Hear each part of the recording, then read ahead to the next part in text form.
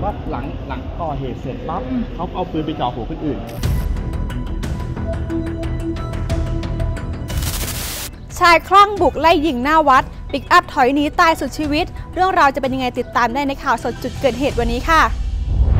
ช่วงบ่ายวันที่ 2 เมษายน ชายคลั่งไล่ยิงชาวบ้านบริเวณวัดหนองใหญ่ เขตสายไหม แต่อยู่ในพื้นที่รับผิดชอบของสอนอคันนายาว ชายคลั่งคนนี้เดินถือปืนออกมานอกวัด ปิกอัพเห็นปืนแล้วตกใจ เข้าเกียร์อาถอยหลังหนีแบบไม่คิดชีวิต จนรถเสียหลักชนกับสารพระภูมิหน้าบ้านหลังหนึ่งได้รับความเสียหาย คนขับรถรีบลงมายกมือไหว้ขอชีวิต ชายคลั่งคนนั้นเดินมามองหน้าแล้วเดินผ่านไปหน้าตาเฉย เหมือนไม่มีอะไรเกิดขึ้น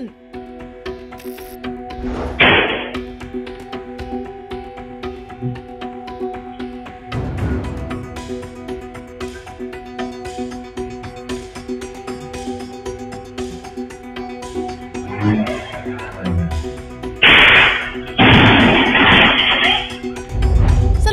คนที่ก่อเหตุชื่อเอิร์ธหรือเสี่ยเอิร์ธออเงิน เสี่ยเอิร์ธมากับเพื่อนอีกคนนึงทำทีมาถวายสังฆทานที่วัดแห่งนี้ ก่อนจะตามไปหาตัวพระที่บวชใหม่ชื่อพระมาร์คที่เพิ่งบวชไปเมื่อวันที่ 1 เมษายนที่ผ่านมา เพื่อมาทวงถามค่ากัญชาที่พระใหม่ติดค้างไว้อยู่ เสี่ยเอิร์ธไปถามเจ้าหน้าที่วัด แต่ไม่ได้คำตอบที่น่าพอใจ พระมาร์คก็ไม่ยอมลงมาพบ เสียเอิร์ธฉุนจัดยิงขึ้นฟ้าขู่สองนัดก่อนขึ้นรถเก๋งหลบหนีไปกับเพื่อน และไปเจอรถกระบะคันดังกล่าว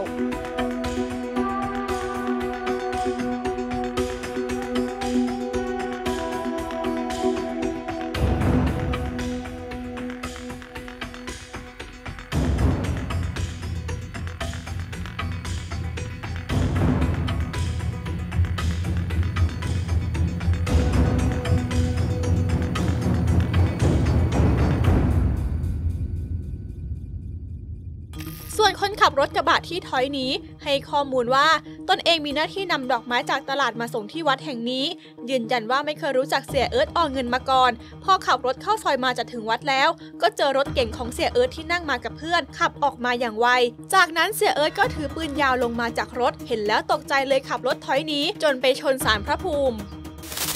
เราไปฟังเสียงคนที่อยู่ในเหตุการณ์กันค่ะ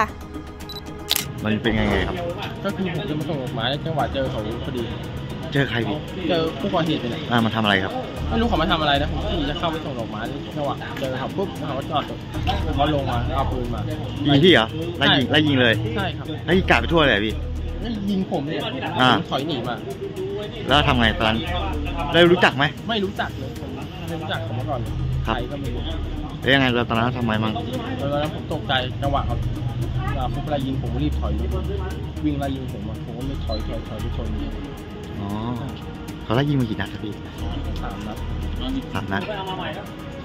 เรารู้จักไหมแล้วทำไมเขาถึงทไม่รู้เหมือนกันสาเหตุเพราะอะไรำตอนนี้เรายังคิดอยู่ไหมว่าเขาต้องเขาทำมาทำไปทำไมตกใจว่าทำทำไมครับอยู่ดีเขาก็ไล่ยิงเลยเหรอครับ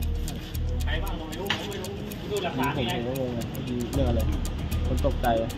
แล้วก็กับคนอื่นนะครับ เขายิงไหมเรื่องผมไม่รู้เขาจ่อมาทั้งพี่คนเดียวใช่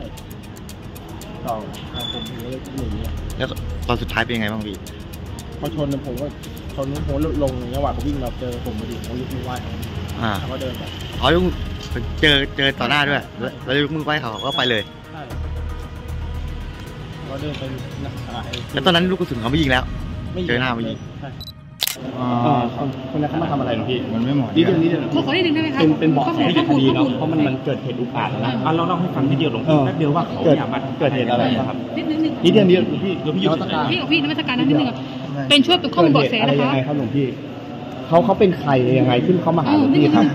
ไม่เกี่ยวเออเขาเขาเป็นใครเขาเขามาส่งอะไรให้หลวงพี่เขามาถวายปัจจัยเออเออจากนั้นจะเกิดอะไรขึ้นต่อเขามาก่คะอนนะไม่ เห็นว่าหลังหลังก่อเหตุเสร็จปั๊บเนี่ยหลังหลังหาหลวงพี่เสร็จเขาเอาปืนไปจ่อหัวคนอื่น อันนี้หลวงพี่ไม่รู้เลยเออเรารู้จักกับเขานานหรือยังหลวงพี่อ่างานบวชอืมเขาเป็นเพื่อนเราอ่าต่อต่อกันมาอีกทีอืมแล้วก็ที่เขามากันกี่คนอ่าสองคนนะอืมแล้วคนที่ยิงนี่คือเขาเขาเขารู้จักกับเราสนิทกันแค่ไหนอะครับผมไม่รู้เจอกันงานบวชเออไม่ขอแค่ตนี้อนดีกว่าครับตอน ตอนที่เขามาหาหลวงพี่เนี่ยเขามีท่าทีกระวนกระวาย มีท่าทีอารมณ์เสียมีไหมฮะไม่มีนะไม่มีมาเขาคุยอะไรกันนะครับอืมอ่าก็ให้พรเฉยๆครับอ๋อเหรอแล้วเขามีมีอัดระบายว่าเขาโกรธเคืองอะไรใครอะไรเงี้ยครับเออถึงได้เกิดเหตุการณ์นี้ขึ้นมีไหมหลวงพี่ผมหลวงพี่ไม่รู้เลยเออใช่นั่นแหละครับแค่นี้นะอยากจะบอกอะไรกับเขาไหมหลวงหลวอ๋องพี่ก็ไม่มีอะไรจะบอกเออเขามามอบตัวไหมเพราะใช่เอาปืนอยู่ดีไปยิงคนตาม ที่อืมสมควรเลยตามพฤติการนะครับ มีการกระทำที่อุกอาจแบบเนี้ยเนี่ย มันก็อาจจะเข้าข่ายในส่วนของพยายามฆ่านะครับ ซึ่งถ้ามีอ่าความผิดฐานอื่น หรือว่าการกระทำผิดที่ไปกระทบกับคนอื่น นอกเหนือจากผู้เสียหายหลักเนี่ย เดี๋ยวเราก็พิจารณาเป็นจุดๆไปนะครับ ออกหมายจับได้หรือยังคะ หมายจับตอนนี้ก็พนักงานสอบสวนกำลังรวบรวมพยานหลักฐานนะครับ แล้วก็ ถ้ารวบรวมพยานอ่าพยานหลักฐานครบแล้ว ก็คงสามารถออกมาจับได้นะครับ ก็ขอให้ถ้าผู้ก่อเหตุนะครับ ทราบนะครับได้ดูนะครับภาพข่าวตรงนี้นะครับ ก็ขอให้เข้ามามอบตัวนะครับนะครับ เข้ามามอบตัวดีกว่าที่เราจะออกหมายจับแล้วไปตามจับตัวนะข่าวสดสื่อออนไลน์คุณภาพที่มีผู้ติดตามทางโซเชียลมากที่สุดในประเทศไทยกว่า 20 ล้าน followers อย่าลืมติดตามคลิปดี ๆ สาระความบันเทิงข่าวด่วนแบบฉับไวกับข่าวสดออนไลน์ได้ทุกช่องทางค่ะ